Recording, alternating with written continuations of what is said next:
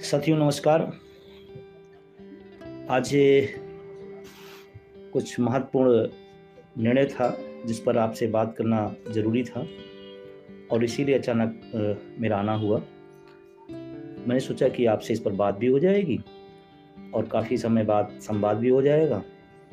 आज एक बहुत खास निर्णय है पूरे शिक्षक कर्मचारी जगत के लिए।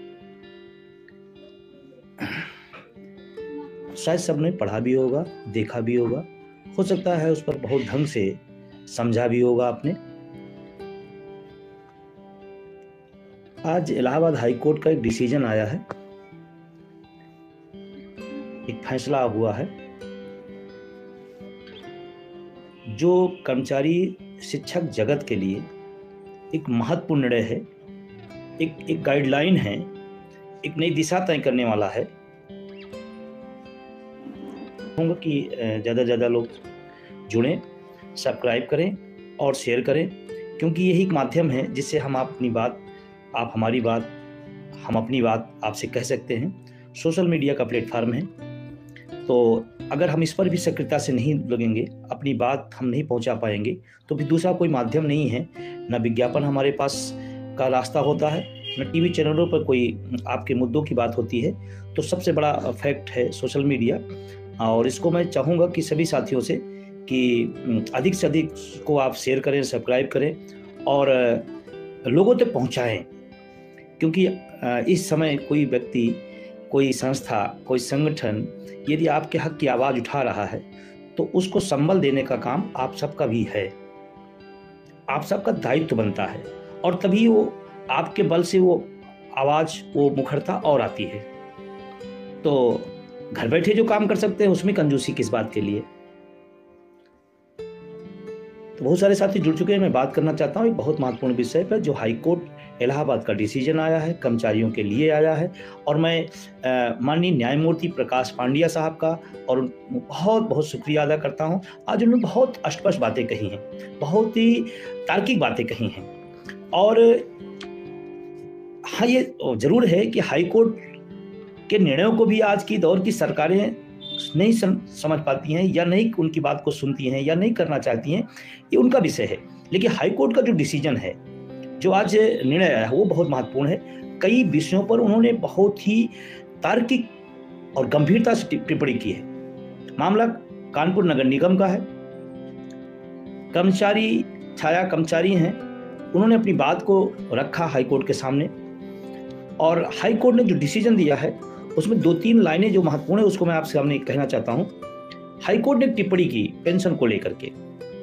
सेवानिवृत्त, परिलाभ देना, सरकार का वरदान, आशीर्वाद या कृपा नहीं है, यह कर्मचारियों का विधिक अधिकार है। ये इलाहाबाद हाई कोर्ट ने कर्मचारियों के पक्ष में ये बात लिखी है। उस डिसीज़न में ये बात हाईलाइटेड की गई है। और मैं तो चाहता हूँ कि उस डिसीज़न को सब लोग ज़रूर पढ़ें। उसमें क्या क्या टिप्पणी की गई है? सेवानिवृत्ति परिलाभ देना सरकार का वरदान, आशीर्वाद या कृपा नहीं है, यह कर्मचारियों का विधिक अधिकार है। पेंशन। सेवानिवृत्ति के बाद मिलने वाले लाभ। दूसरी जगह टिप्पणी। सरकार ने किया कर्मचारियों को पेंशन देना उसकी सेवा, लंबी सेवा का पुरस्कार ही नहीं है, बल्कि यह सरकार का दायित्व है। ये दायित्व है। ये हाई कोर्ट कह रहा है। तो क्या वर्तमान सरकार जो चल रही है, क्या हाई कोर्ट को भी नहीं सुनती है? या सुनना नहीं चाहती है? इसी तरह से बहुत सारी टिप्पणियाँ हाई कोर्ट ने आज महत्वपूर्ण महत्वपूर्ण की है, जिसको हमको आपको जानना, समझना बहुत ज़रूरी है और पेंशन आंदोलन की दिशा में एक बड़ी बात है। पेंशन इनाम की प्रकृति में नहीं है, बल्कि बाध्यकारी दायित्व है। फिर से सुने, पेंशन इनाम की प्रकृति में नहीं है, बल्कि एक बाध्यकारी दायित्व है सरकार का। सेवा से निष्कासन, बर्खास्ती, पेंशन स्वीकृति होने के बाद भी उसका जारी रहना, ये महत्वपूर्ण है। ऐसे तमाम टिप्पणियाँ हाईकोर्ट ने आज की है और कई महत्वपूर्ण बातें उसमें उन्होंने रखा है। अगर आप इस डिसीज़न को पढ़ेंगे तो आपको भी समझ में आएगा कि हम सब की जो लड़ाई है, वो इनलीगल नहीं है, असंवैधानिक नहीं है। बल्कि संविधान सम्मत है, संविधान पदंत है। ये हाई कोर्ट अपनी तमाम महत्वपूर्ण टिप्पणियों में कई बार भी पिछले कहा है और फिर आज कल उन्होंने बात कही। अब मैं थोड़ा सा हाई कोर्ट के इन निर्णयों को लागू करना। सरकार का काम है, संबंधित विभाग का काम है, लेकिन तमाम फैसले रखे हुए हैं। जो तो सरकार के पक्ष में आ जाते हैं वो तो सरकार तुरंत उसको लागू कर देती है। लेकिन जो कर्मचारियों के पक्ष में होते हैं, उसको लागू करने में बहुत दिक्कत होती है, बड़ी परेशानी होती है। और ये हम सब के लिए एक रोशनी का, एक दिशा देने का कार्य किया है माननीय हाईकोर्ट इलाहाबाद। और मैं फिर कहना चाहता हूँ, केस को ज़रूर स्टडी करिएगा, पढ़िएगा। आप पढ़ करके आप इस आंदोलन को पेंशन आंदोलन को समझेंगे कि हम कितनी महत्वपूर्ण हम सब और कितनी वैधानिक लड़ाई लड़ रहे हैं। और उन्होंने इतना ही नहीं किया। मैं तो न्यायमूर्ति साहब को बहुत बहुत शुक्रिया देना करना चाहता हूँ। कोर्ट ने के आर सुंदरम बनाम तमिल तमिलनाडु राज्य बनाम अन्य। और उसके पहले सुप्रीम कोर्ट से में संबंधित, इस विषय के संबंधित जो कही गई बातें, उन सबका उदाहरण दिया। इन केसों को भी उन्हें उदित किया।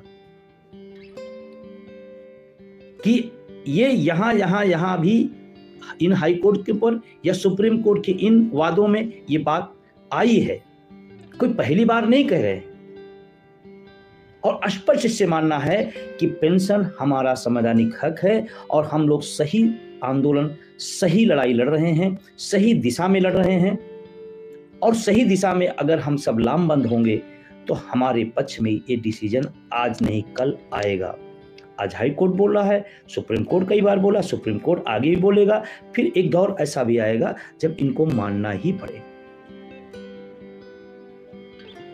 और मैं बड़ी ज़िम्मेदारी साथ कहना चाहता हूँ कि ये सरकार माननीय हाई कोर्ट की बात को सुने, उनके जो फैसले हैं उनको माने, उसको लागू कराएँ। कहा जाता है कि डबल इंजन की सरकार है, स्वागत है। लेकिन उसमें, उस डबल इंजन में, वो जो बोगी हैं, उनका देखने वाला कौन होगा? और पूरा डबल इंजन, वही शिक्षक कर्मचारी चलाता है। अभी चुनाव है। चुनाव मतदाता बनवाने से लेकर के, पर्चियाँ पहुँचाने से लेकर के, चुनाव कराने से लेकर के, मतगणना कराने तक का सारा दायित्व तो इसी वर्ग पे है जिसके खिलाफ हैं आप। इसी वर्ग का है और यही कराए आप कल्पना करें, आप जिसको वोट देते हो, वो ओपीएस पाएगा। जो वोट देता है, वो एनपीएस पाएगा। समझ में आ रही है बात? निश्चित रूप से बुद्धिजीवी हैं तो समझ रहे होंगे। दो तीन खरी खरी बातें कहना चाहता हूँ। हमारे बोर्ड से उनको पेंशन और जब मौका हो अपने बोर्ड से अपनी पेंशन तो क्यों हम फैसले से पीछे रहे? क्यों हम फैसले से पीछे रहे? जिन लोगों को मैं आज फिर कहना चाहता हूँ। जिनको विचारधारा और पार्टी से बहुत मोहब्बत है, वो उनको देखें जिन्होंने को पार्टियों ने बहुत कुछ दिया और चुनाव के अंत पर टिकट नहीं मिल रहा है तो पाला बदल रहे हैं। इसका मतलब बुद्धिमान कौन ज़्यादा हुआ? जो अपना हित समझ रहा है या अपना अहित के बाद भी डटा है? आप कल्पना करें इस बात को कि आप बुद्धिजीवी हैं, लेकिन नुकसान के बाद भी डटे हैं। वहाँ फ़ायदे के बाद भी फरार हो रहे हैं लोग। हम कब जागेंगे? और वोट फॉर ओपीएस की ताकत को आप समझें। देखिए, ये हमारा राइट है। हम अपना वोट किस विषय पर, किसको देना चाहते हैं? ये मेरा अपना निर्णय है। ये हमारा आपका अपना निर्णय है। मैं इसको कई बार कह चुका हूँ, एक बेरोजगार हो सकता है रोज़गार के लिए वोट करे, एक किसान हो सकता है खाद और पानी के लिए वोट करे एक महिला अपनी सुरक्षा के लिए वोट करे तो एक कर्मचारी अपने बुढ़ापे की सुरक्षा के लिए क्यों नहीं वोट कर सकता? और आप याद रखिएगा, मेरी बात बुरी ज़रूर लगेगी अगर हम अपने मुद्दे के साथ नहीं खड़े हैं तो आप किसी से कल्पना कैसे कर सकते हैं कि आपके मुद्दे के साथ वो खड़ा हो? हम अपने मुद्दे पर अपना वोट दे नहीं सकते हैं तो सरकारों की आलोचना और ये दिखावापन किस काम का है? हम सरकार बहुत आलोचना करें। बहुत आलोचना करें। क्या फ़ायदा है? कोई फ़ायदा है? कुछ नहीं। क्यों? जब आप अपने मुद्दे पे अपने साथ नहीं खड़े हो तो सरकार क्यों खड़ी होगी? और मैं अपने मित्रों से भी कहना चाहता हूँ कि ये फार ओपीएस का अभियान एन ओपीएस सहयोगी संगठन द्वारा चलाया जा रहा, उसको पढ़ाइए और मैं सभी साथियों निवेदन करता हूँ, आप अपने को कमज़ोर न माने। आपकी शक्ति बहुत बड़ी है। बस लग जाइए अपने घर का। वोट अपने मुद्दे के साथ ले जाइए। आप पाँच वोट और अपने मुद्दे के साथ दीजिए। और मैं सबसे अपील करना चाहता हूँ, मतदान अधिक से अधिक करिए। मतदाता जागरूकता अभियान चलाइए। सभी को प्रेरित करिए कि पाँच साल बाद एक बार मौका आया है कि अपने हकों के लिए हम अपनी उंगली लगा सकें। पाँच साल बाद एक बार मौका मिलता है। तो हम इतना ही न रहें कि उंगली लगाने भर के काम आए उन उंगली से अगर हमारा निर्णय या हमारे पक्ष में न चीज़ें आए तो फिर हमारे वोट देने, न देने का कोई फ़ायदा नहीं। इसलिए आप वोट अधिकतम दें और लोगों को जागरूक भी करें। गाँव में जाएँ, कार्यालयों में जाएँ, विद्यालयों में जाएँ और सबको प्रेरित करें कि भाई आपका लोकतंत्र का पर्व है। लेकिन उस पर्व पर्व में सिर्फ़ आप एक दर्शक बने, ये ठीक नहीं है। क्योंकि वोट देने का अधिकार दिया गया इसका मतलब आप उसके खिलाड़ी हैं और खिलाड़ी अपनी जीत के लिए लड़ता है। खेलता है। तो आप भी अपनी जीत के लिए खेलिए, नहीं फिर पछताना होगा। और जो एकदम खुली बात है, सीधी बात है, जो हमारी बात करेगा, हम उसकी बात करेंगे। जो हमारे मुद्दे की बात करेगा, हम उसके साथ होंगे। इसमें कोई लाग लपेट नहीं। और अगर भक्ति चढ़ी रही तो किसको क्या मिलेगा, कौन विधायक बनेगा, कौन सांसद बनेगा, वो नहीं पता है। लेकिन आपका बुढ़ापा, एनपीएस के उस जहरीले और भयंकर सांप के मकर जाल में फंस जाएगा। न, आप पेंशन की तो बात छोड़ दीजिए एनपीएस में। आपका पैसा भी वापस आ जाए तो आप खुद किस्मत मानिए। और अभी तमाम सारे जो और परिवर्तन एनपीएस में किए जा रहे हैं, अभी जैसे जैसे और नज़दीक आएगा, इतना ज़्यादा हो जाएगा कि आप अपना पैसा पा जाएँगे तो आप उसी को मान लेंगे कि हाँ हमको मिल गया। तो मैं आज हाई कोर्ट के डिसीज़न को माननीय न्यायमूर्ति साहब का बहुत बहुत शुक्रिया अदा करता हूँ। इस देश में न्यायालय के पक्ष में न्यायालय एक उम्मीद की किरण होती है। जब आदमी चारों तरफ़ से निराश होता है, हताश होता है तो फिर एक चौखट होती है, जहाँ जाके खट खट की आवाज़ देता है कि माई लाड मेरे साथ भी न्याय हो। और समय समय पर हमारे इस लोकतंत्र को न्यायालय ने, न्यायपालिका ने, हमारे न्यायमूर्ति साहब लोगों ने एक बल दिया है, संबल दिया है, एक दिशा दिया है। और आज इलाहाबाद हाई कोर्ट का निर्णय भी उसी दिशा में एक संबल बनेगा। तो आप सबसे मेरा निवेदन है कि आप अपने अभियान को आगे बढ़ाइए, वोट फॉर ओपीएस के अभियान को आगे बढ़ाइए और आप ताकतवर हैं, आप मज़बूत हैं, संगठित होइए, लोगों को जोड़िए, लोगों को जागरूक करिए घर घर जाइए, लोगों के चौखट पर पहुँचिए कोई सांसद बनने के लिए अगर घर घर पहुँच सकता है, कोई सांसद बनने के लिए, कोई प्रधानमंत्री बनने के लिए, कोई सत्तारूढ़ बनने के लिए अगर लोगों के चौखट पर जा सकता है तो अपने बुढ़ापे के लिए हम क्यों नहीं जा सकते हैं?